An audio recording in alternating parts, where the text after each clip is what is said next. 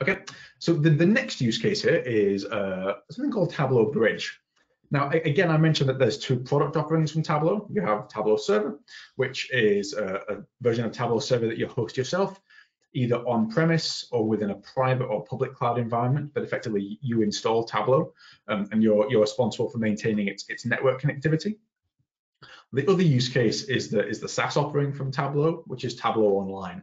Um, and this is always deployed to the cloud.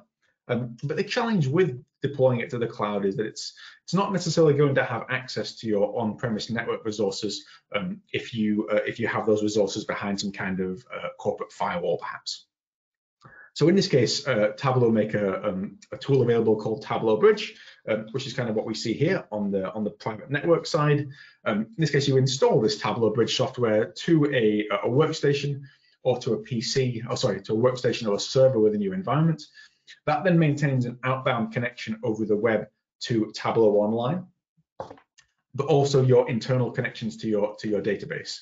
So effectively, because Tableau Bridge has an outbound connection to your Tableau Online instance, when Tableau Online needs data, uh, it can actually ask that question to Tableau Bridge.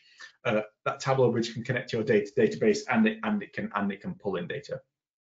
Now, in this case, we're actually using Tableau Bridge as a live connection.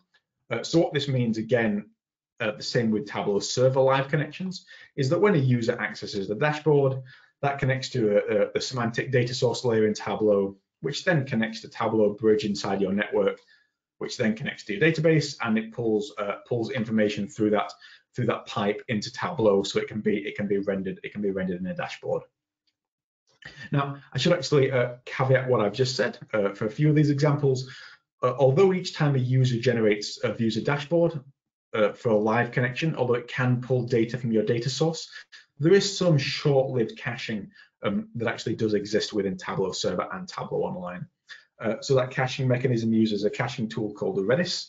Um, and actually, if you were to try and do the dashboard twice as the same user in quick succession, um, the chances are that you might get a cached version of that dashboard uh, just to speed things up.